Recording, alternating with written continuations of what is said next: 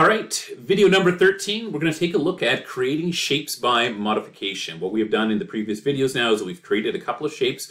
Uh, primarily, there's two main shapes that we have. We have got our Decora receptacle and we have got our contactor. And we're going to take a look at extracting properties from a shape in order to create a new shape and save it so that we've got you know more stuff to go and play with.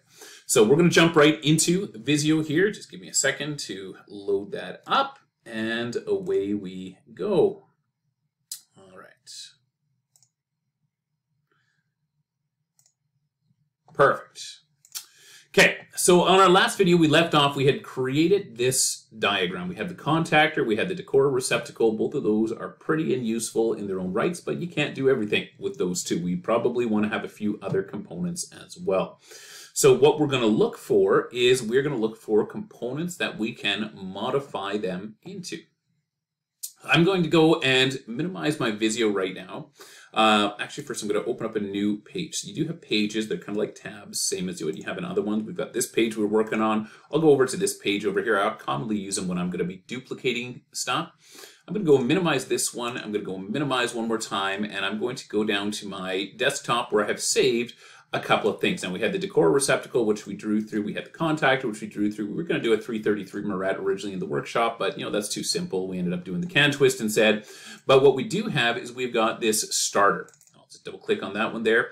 This is a full, you know, squared up frontal picture of a Schneider manual motor starter. Now you can see the similarities between this and between your contactor. And that's what we're going to do is we're going to do a quick modification, taking this into our contactor. A couple of things you should note though, uh, this thing is a little bit of a fisheye view on the camera. It will be the same width all the way around. It's just that this part up front over here, the knob is way closer than this part down here with the terminal, so it appears to be a little bit fattened, but it's the best frontal view that I could get on one of these ones. You have to look around online. Honestly, sometimes your best bet is go directly to the manufacturer's website, download the documentation.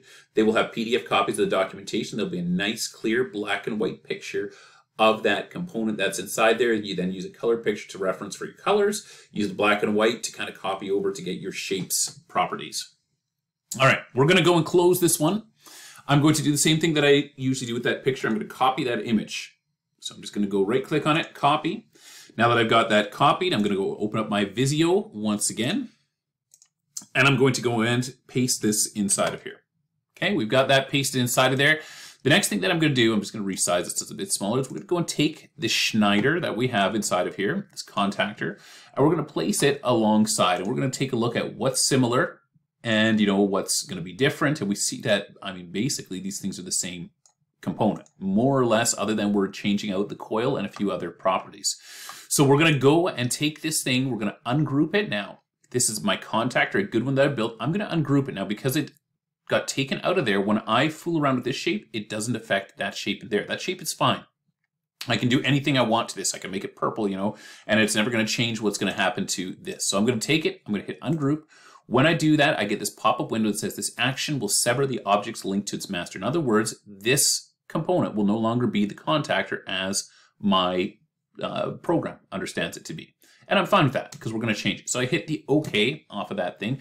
Once I do that, it's now broken, uh, broken down into multiple smaller parts. I'm going to go and just use box selects and I'm going to go partially over the shape. If you go all the way over the shape, you can select, you know, sometimes the background squares. I'm just going to go over top of some smaller stuff here, like the wiring, uh, uh the lettering that I have on there and stuff. I'm going to delete that.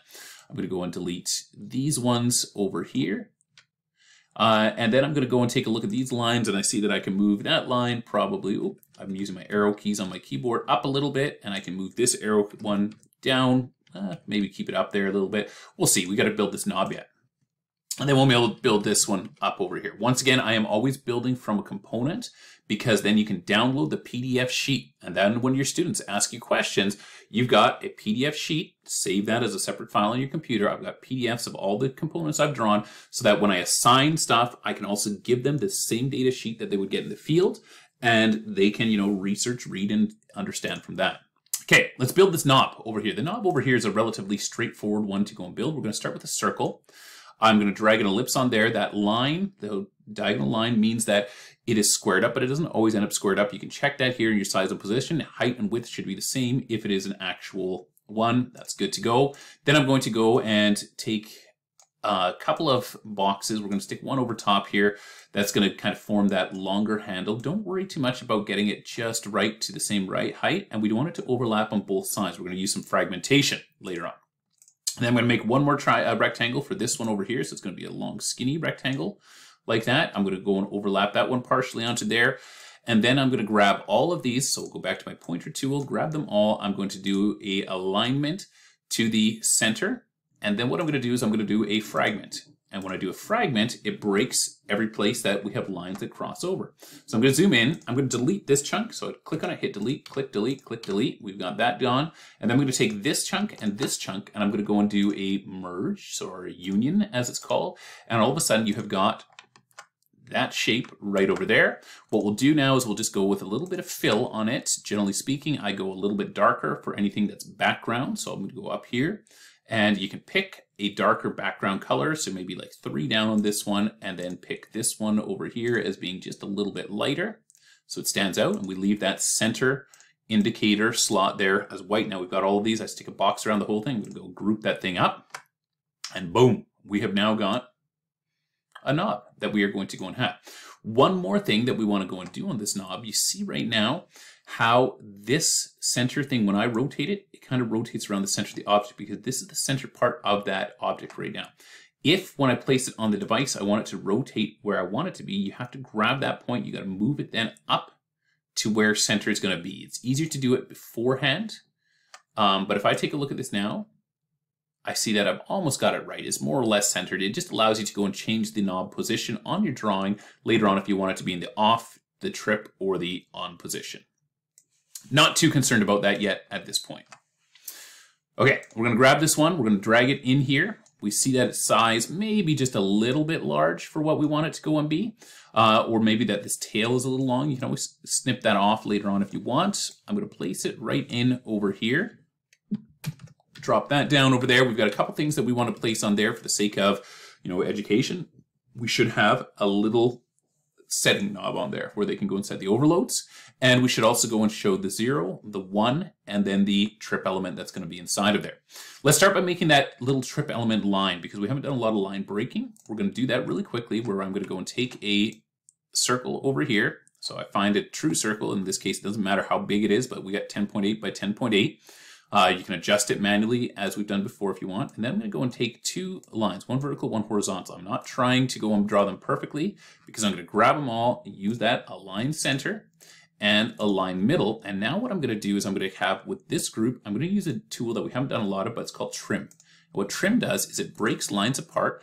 It Instead of shapes, it breaks into individual lines. So this is a line from point to point. Then wherever it crosses, it becomes another line. Wherever it crosses, it becomes another line. This is obviously the one that we are looking for. You could try to do it with your arc, but the arc there is a elliptical arc. And so it'll, you know, just won't work.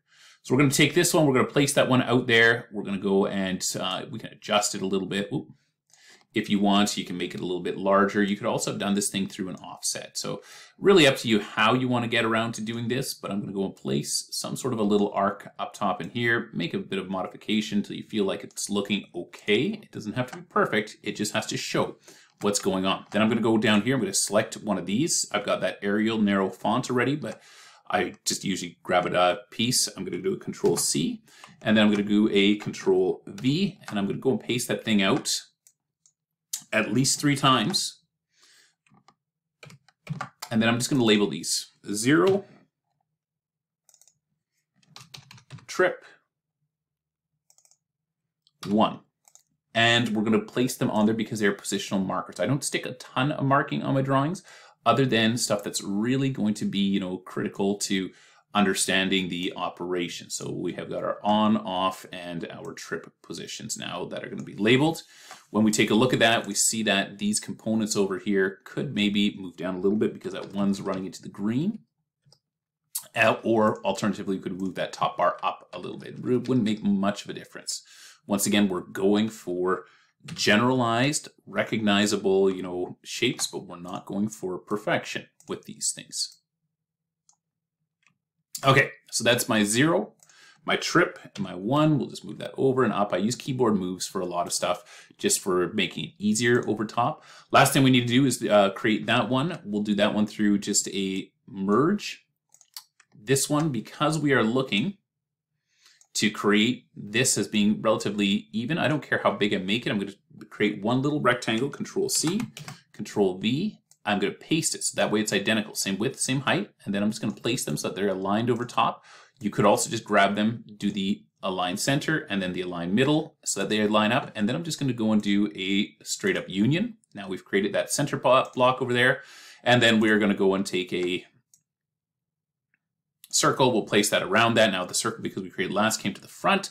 Instead, what we're going to do is we're going to go and send that one to the back. So it's behind there. And then we're just going to grab these components and we're going to make sure that they are all aligned center with each other and aligned middle.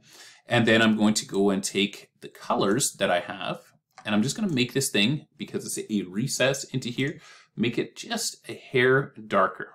So it'll just go to that second one down there, and then this one over here will go to that one over there, same as what I have on top of there. And if you really want, you could go and create a little little uh, V on there, a triangle that you could use. Creating a triangle, there is no shape for that, but usually I just use my background grid. We'll just draw one real quick. And I'll just use a straight line. I drag it down, I release, but I don't move my mouse and I re-click. That allows me to go and close the shape in, go to another grid, and then go back up.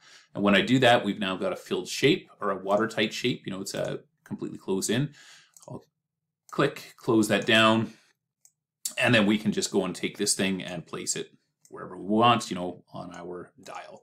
So it's a relatively realistic looking dial. I'm now going to take this entire group and I'm going to group it. I usually just use Control G. You know, it works to group these components, but because we're doing this, you know, visually right now, we'll do it like that. And then we're just going to drag that one onto here. I don't bother with placing, you know, a ton of other markings on here uh, for what these are. The students should understand if you're teaching, you know, your motor control correctly, that this is where they're going to go and set their overloads off of that one. And then, you know, we'll drop this one down. Um, if you have got a model number, I do suggest putting it on there just because you might not, you know, forget or you might end up with that same problem as me where you have extensive libraries with many components and you don't remember what is what. So if you have got that, Control C, Control V, and then I'll write, you know, GVP3 uh, because that's our GV3P, sorry. GV3 uh, P is the type of manual starter. And then that just gives me something to reference later on, you know, if I'm looking these things up. Okay, so we're almost done here. The last thing we need to do is we have to put connection points on because when we deleted and broke this component apart, we did lose all of those connection points that we had placed up top here. So we're going to take the entire group now. We are going to go and ungroup everything. I always ungroup back down to the base units. It just eliminates glitches. Then you hit group one more time. We're good to go with that. Then we got to go up to our connection points. So we've got this device selected. We're now going to put connection points on there. So I'm going to zoom right in, holding down control. I'm going to drop those onto my components. Roll down to the bottom over here as well. Bottom and bottom.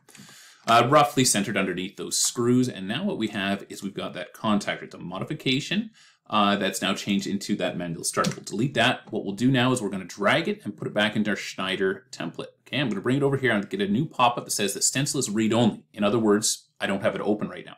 Would you like to edit it so the operation can be completed? Yes, I do. That's going to allow me to drag it in there. So now it's open that stencil, allowed us to modify. We've dragged it in. I'm going to call that one a manual starter.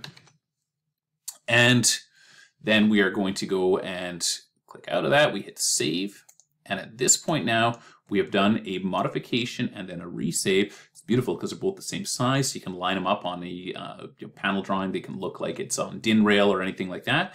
But you have got connectable devices where you're actually going to be able to run through from component to component. I know these lines are over top of each other right now, but you can you know square those lines out and around however you want. And you've got now connectable visual motor control components. Fantastic. Going to make your life so much easier. All right, that is that for this one.